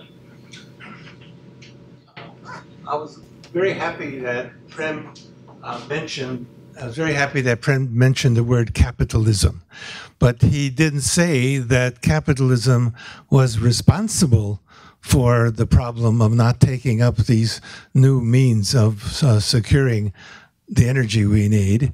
Uh, he talked about uh, making changes in the market. Uh, well, that sounds like a very wishy-washy way of saying do away with capitalism, because capitalism, of course, is only concerned, I mean, the leading capitalists, with maximizing their profits. And to the extent that they don't want to even admit, especially in the United States, uh, many of the biggest ones, that uh, there is such a thing as climate change. But I was disappointed that our first speaker didn't even mention capitalism, whereas she danced around the subject by showing how much it was necessary to make changes in uh, how we secured the kind of energy that the world needs, and that Prem went on to document is there, has been there, and is rather easy to use. So aren't we all uh, avoiding the big question of why, when the problem becoming so great and leading to such disastrous future, uh, why we're not uh, talking about and thinking about, well, now how do we move beyond capitalism to a more ra rational, not market, but more rational way of organizing our lives together? Okay, we can take one other question maybe. You just uh, can then respond to either of those, yeah? Um, I have uh, two questions to actually. Uh, your research is very interesting. Uh, however, I was wondering uh, about the variables used to analyze uh, the environment's impact, because you focused on uh, temperature and carbon, etc. And I've been working with development projects in Brazil for the last years, and at least at the firm level, firm level, uh, what I notice is that the uh, that the environment issue that really concerned the uh, the firm and the, the, entrepreneur was not exactly uh, the climate, but uh, other issues as waste, um, uh, sanitation, and it really impacts the cost of the production and decrease productivity. And I want to know if you uh, have this data, if you have, if you know uh, a research or another uh, paper that uh, associate this issue with productivity. And uh, another question that, that I would like to to to do is regarding uh, the adaptive strategy that you proposed. Do you can, we ensure that the cross the cost increase as that may happen as a consequence of this strategy would really uh, balance and uh, balance the the decrease of productivity of climate change? Okay, so uh, you may want to uh, Petia, you want to go first? Sure. Yeah. Um, so I think I will leave. Your questions are very, very specific, and you know, I'm a climate expert only from the point of view of its macroeconomic consequences. So I think you know, Prem will be much better positioned Probably he is answering responding those. to this, yeah. Um, so on the capitalism and you know um, why are we dancing around it and so on. Um, yes, I mean, uh, maybe I did not exactly understand your question of you know um, why you believe this is the only system that would have generated these problems. And if you have an alternative you know and how do we gather around um, uh, how do we gather the political support and the popular support to switch out of capitalism to an alternative system? I mean that would be yeah something that i'd love to hear more from. But i personally you know do not feel like i have an easy solution of you know uh, first the question is is it really you know what is the alternative to capitalism and to allowing kind of the market to uh, you know to set the prices of certain commodities? I mean these are things that are now not in the control of one particular country. Not every country has resources to oil. This you know would require the cooperation of countries around the world to set these policies. And if we see how difficult it is to get you know agreement on anything you know i mean actually you know this is a big concern for us is that there is a big retreat from you know countries willingness to cooperate to engage in multilateral cooperation even though we are facing these global risks climate change being one of them but there's a lot of risks that we are facing that have many you know um, uh, international spillover, such as risks of conflicts, of epidemics, and so on. And uh, countries are becoming increasingly disengaged, actually, from looking into a multilateral solution. So, in some sense, you know, we are being pretty pragmatic and to try to think of kind of what is within the more feasible set of solutions what we should be looking at because maybe reaching out for the ideal is a little bit too difficult especially especially these days. Um, but uh, maybe can, can follow up.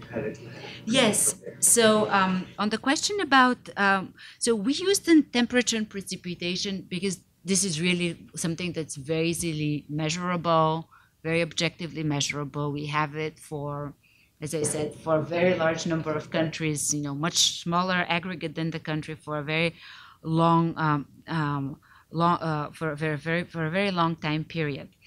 I mean, there are other aspects of climate change, such as, as you mentioned, the increasing air pollution and so on, um, which have negative consequences.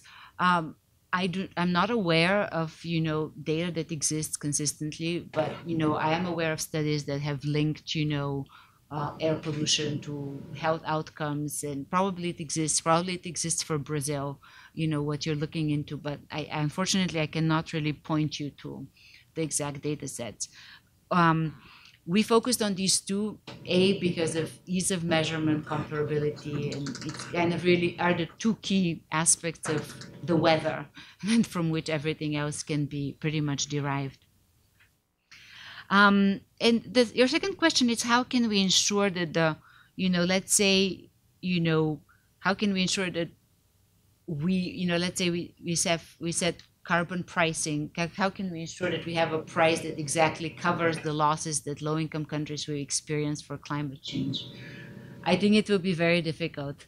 Um, you know, very encouragingly, the IMF itself does a lot of research on that, and there's a lot of technical assistance for countries in helping them exactly think through what is the right level of carbon pricing. We have a whole fiscal affairs department that has done a lot of work on it. Um, I personally am not the expert, but you know, um, I'm hopeful. I think so far we are very far from even in the few countries that have engaged in carbon pricing, um, which are, there are very few. But, uh, I think it covers about 17% of you know all emissions. Um, the prices are still very, very much, much lower than where they should be in order to compensate for the negative externalities of emissions. Uh, but work is being done on these levels, and you know it's a matter of you know whether politicians, policymakers, economic agents um, are end up having the willingness to get to those right levels of pricing. Thank you. Um, I'll just take the questions that you raised, Willi, and um, and Bert, and Bert did, um, very, very, as briefly as possible. Uh, first, scaling up. Yeah. Um, as I was, as I said, uh, the largest plant that I ve- came very close to coming into into operation was in London, when where a an American company and four other other European other countries, five com- five company, a consortium of five companies. Uh, uh, signed a power purchase agreement with British Airways to provide them with aviation turbine fuel made from 575,000 tons of London's garbage uh, every year. And this uh, this thing was uh, everything was set and ready for this. The technologies they, they had already fully developed, and I've talked to them. There, there was no problem about that. Um, this, uh, the, the only problem was financial closure. They were 60 million short of completing the financial closure when the 2014 oil price crashed and they couldn't get financial closure. So that's sitting on the shelf. I know of three other projects the same thing has happened to. In 2007, an American company, newspaper company called NewPage, had signed up and begun work on a, on, on a plant to convert the black liquor that they get from their paper pulp, you know, paper, paper plant, uh, you know, you know, gasify the, that, that black, black liquor in order to produce methanol, in, and in, addition to the vast amounts of heat that, that, that you in any case get from it.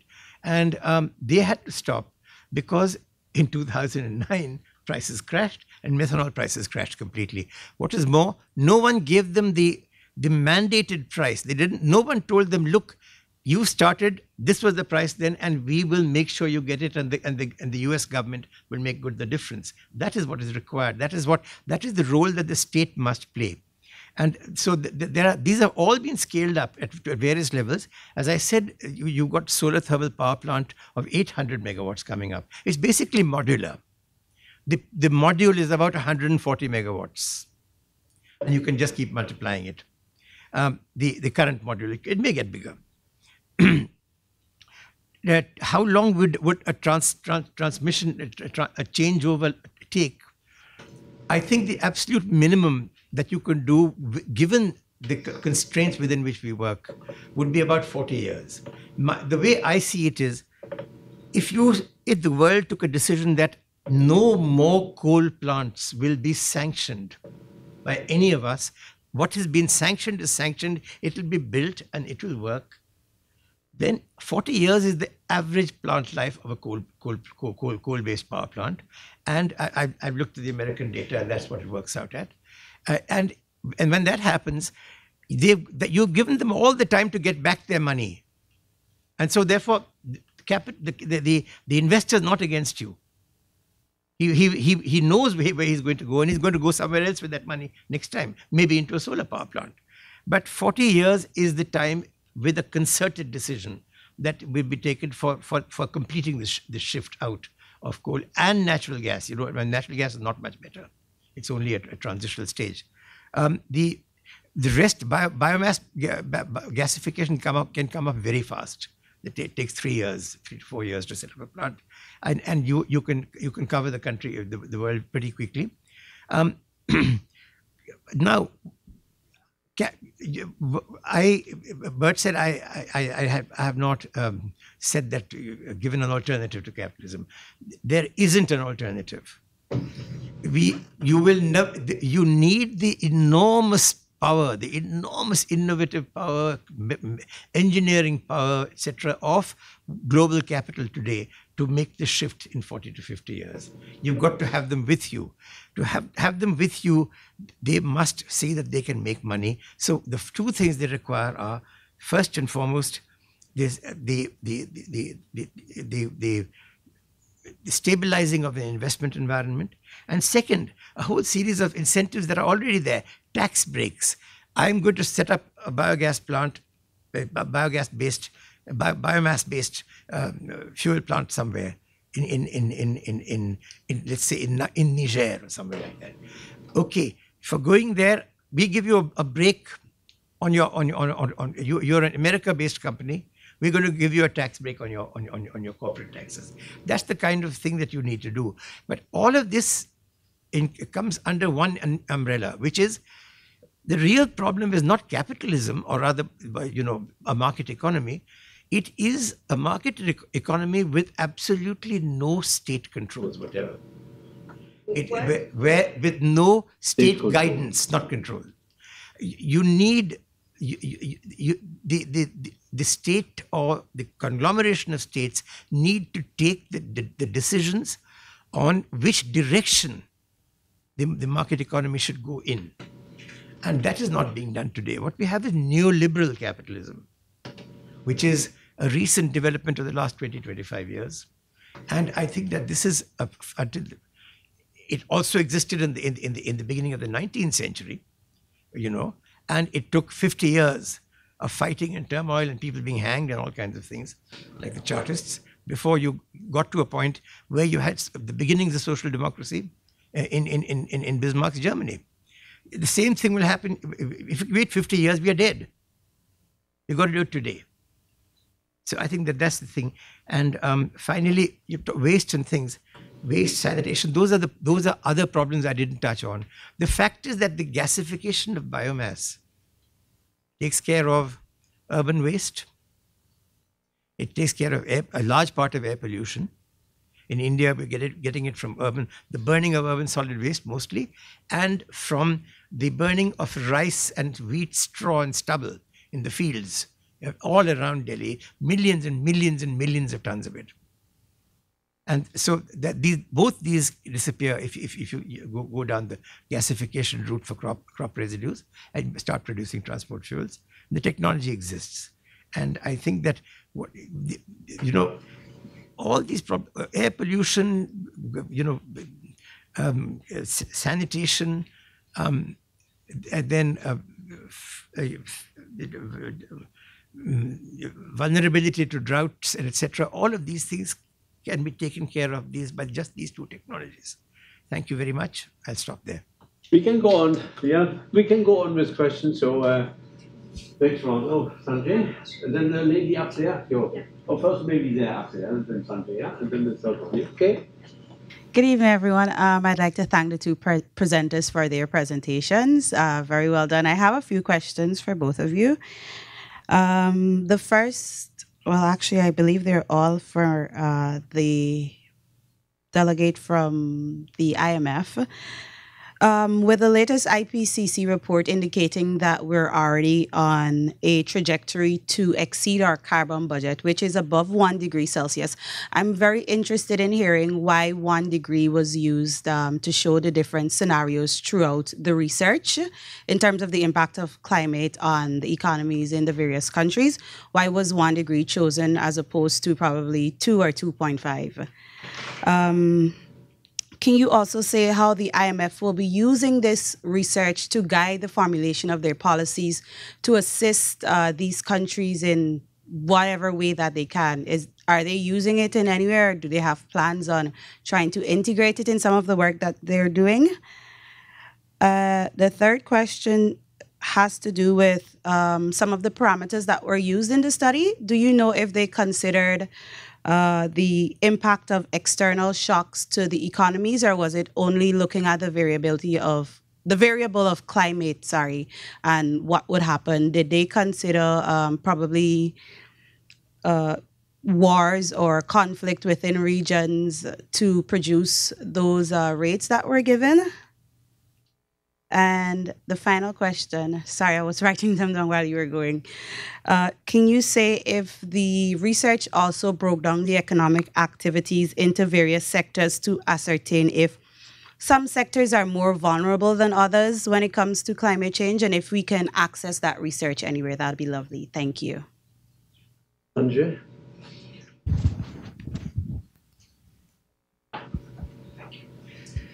Thank you, uh, Willi, uh, for organizing this, and to both of you for this very enlightening, excellent discussion.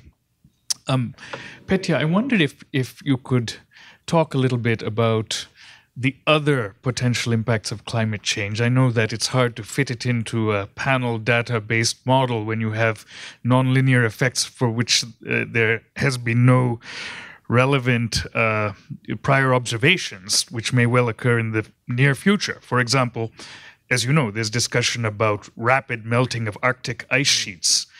Just two days ago, there was a study that uh, was widely publicized about uh, changes in the Gulf Stream, which are likely to have enormous consequences for Europe and for the eastern seaboard of the United States.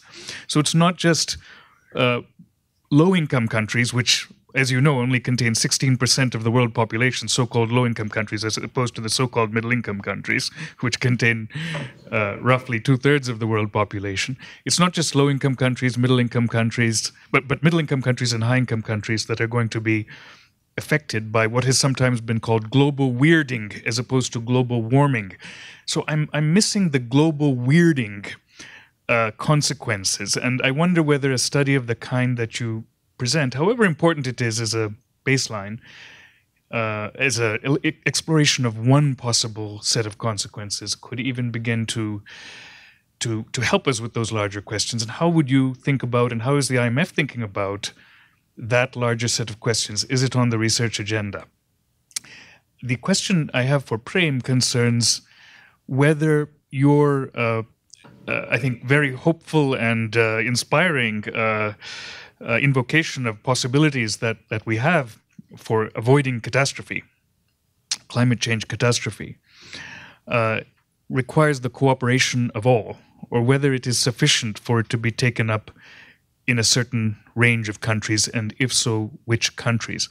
I'm thinking about whether, for instance, certain pivotal emerging countries such as India and China could take the initiative, or whether uh, they, in conjunction with Europe, uh, would suffice to do so. We've seen some not very inspiring examples recently. For instance, the Chinese, as you know, were seen as dumping uh, solar panels uh, and they were criticized for that by the Europeans. Otherwise, uh, who otherwise set a positive example with respect to renewable energy. But it seemed as if the Chinese were doing a favor to the world in terms of facilitating renewable energy adoption, and yet they were criticized because there was an economic interest at play, a seeming zero sum game in regard to that. And it's very hard to imagine in the current scenario the US doing very much that's progressive. So this is a political question as well as. Uh, question about what is the critical threshold in terms of efforts to make it economically viable and to avoid uh, climate change uh, disaster. And may I just make a plug, not just for the current book, but quite a number of years ago, was it 20 years ago, Prem? You, uh, Prem wrote a book called The Twilight of the Nation State. 13 years ago. 13 years ago, but he was talking about it. There were previous writings. There was another 1995. book before that as well, which was really about the rise of fascism in the developed countries. And he predicted, uh, in effect, the rise of Trumpism and, it, and related it to deindustrialization, globalization. I recommend the book to you. Quite an extraordinary discussion from a Polanyian point of view as to how and why that might uh, be likely to be on the horizon, and I'm afraid exactly that has taken place. So I think Prem is a political realist, so please inject some political realism as well, uh, if you will. Thank you. One more question. We can have maybe one more. There was some there the back, no? All right. Oh yeah. Uh, okay. So you have a big task. Uh, good evening, everyone. Um, for Petia, um, with regards to IMF loans, for example, we've seen countries like Antigua and Barbuda hit by very um, harmful or severe uh, natural disasters. And one of the things that they were calling for was debt relief during those periods. Is this something that now the IMF is conscious of the impacts of climate change, including natural disasters? Is this something that they would be soon looking into affording to low income countries, given a lot of the nature of the support that is given by the IMF and the World Bank is through the loan system? Okay, so you want to, who, want to start? Sure. Thanks a lot for these good questions. Um, so the first question was why are we looking at the effect of one degree Celsius increase in temperature? Uh, this particular uh, parameterization that we were looking at has, you know, actually nothing to do with the IPCC and the projected increase. It was just a simple unit to illustrate the, the findings. But basically, if we had decided to go with two or three degrees in, uh, increase in temperature, everything would just need to be multiplied by two or by three. But we just really went with one degree Celsius increase to illustrate kind of what are the effects of, uh, you know, the fluctuations that occur over shorter periods of time. And then when we move into uh, kind of projecting climate change, where we take, you know, what the IPCC projects, you know, temperature increase may be, then we actually take the numbers that they give us, you know, for each part of the world. For example, there was a map that I presented so we looked at for each part of for each grid what the IPCC projects the increase in temperature will be, and we use that number. So in some cases it's you know four, five degrees Celsius, in others it's you know seven degrees Celsius, in other parts of the world three degrees Celsius. So we use the actual numbers. But for, for just consistency, we presented the results you know um, with the standardized one degree uh, increase in Celsius. How does the IMF uh, use the results of this chapter? Uh, I mean, I think the IMF is becoming increasingly aware of you know the macroeconomic consequences that this is becoming you know a macro critical issue.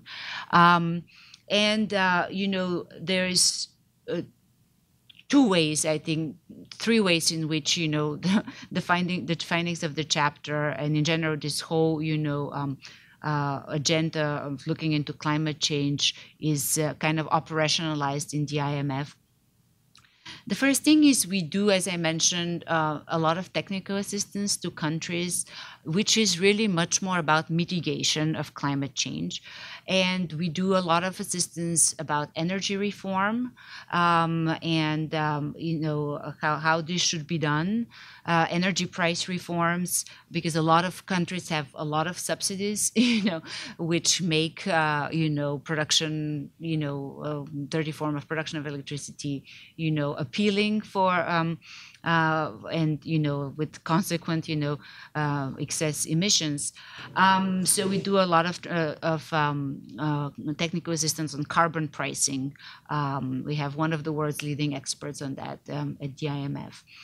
Um, to foster adaptation, it's mostly just kind of policy advice through our annual engagement with each of our members. You know, specifically, it's very relevant for um, you know, for, for the island states uh, in the Pacific, for which, you know, I mean, this is really a very tangible risk. Um, with the, you know, just discussions about kind of what is the optimal risk management, to what extent countries should try to kind of transfer this risk, engage in, with financial markets, with insurance and things like that.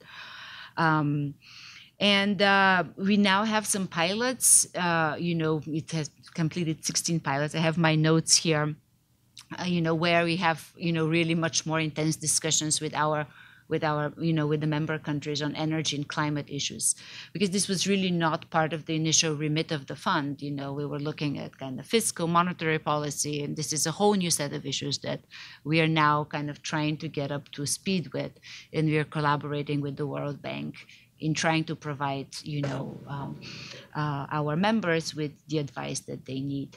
Um, in terms of countries that experience, you know, um, the adverse consequences of natural disasters, and you know, this uh, kind of touches upon the second, the question that I also got about Antigua Barbuda. Um, we do have um, uh, countries have access to special emergency financing facilities And uh, you know, recently, you know, the amount that they can borrow under under these instruments was increased significantly um, to better uh, meet the requirements of these countries.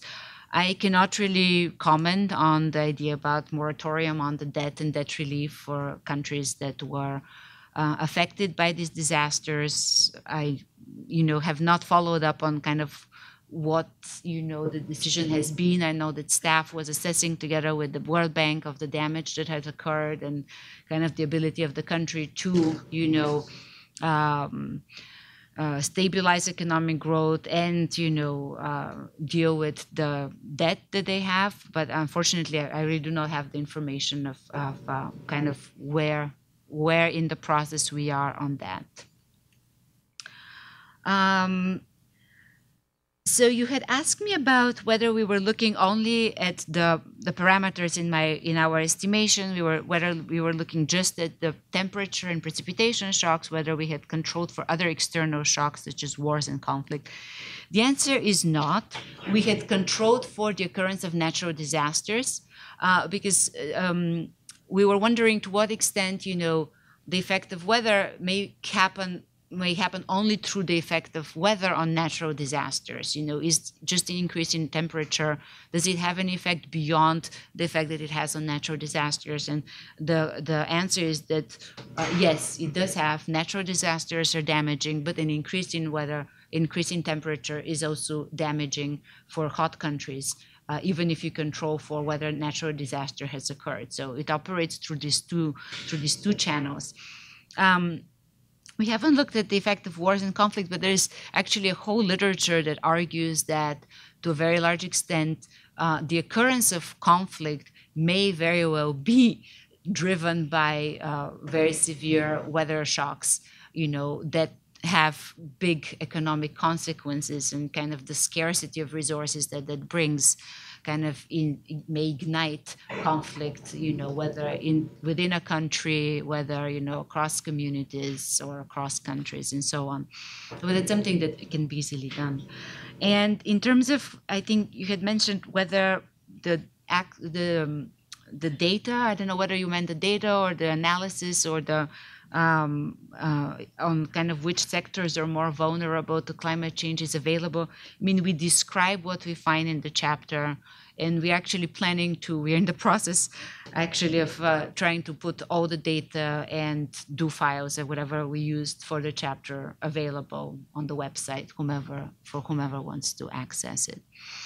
So on Sanjay's question about um, yes, we focused on this one very very specific aspect of climate change. We, you know, I did not present it. We have a ton of caveats in the chapter. This is so narrow, right? Because there's so many things that we just have no historical precedent.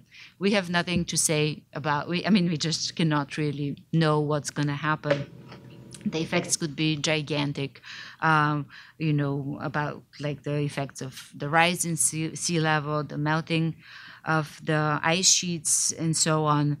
Um, we are kind of very people who like to deal with data and with tangible stuff. We have not gone into uh, you know trying to quantify these effects um, um, you know, we try to just put a lot of caveats. But we also try to mention again, Uh, you're very right in pointing out that it's really not only a low income country and hot country problem because a lot of these other parts of climate change that may happen, the weirdness is really going to affect advanced economies as well. And that's something that we find in the case of natural disasters, that the effects of natural disasters are really kind of the same, whether it's an advanced or emerging market and low income country. So in that sense, we may overplay a little bit the unevenness of the, um, you know, um, consequences of climate change, but we try to be specific that it's really about the temperature increase. Yeah.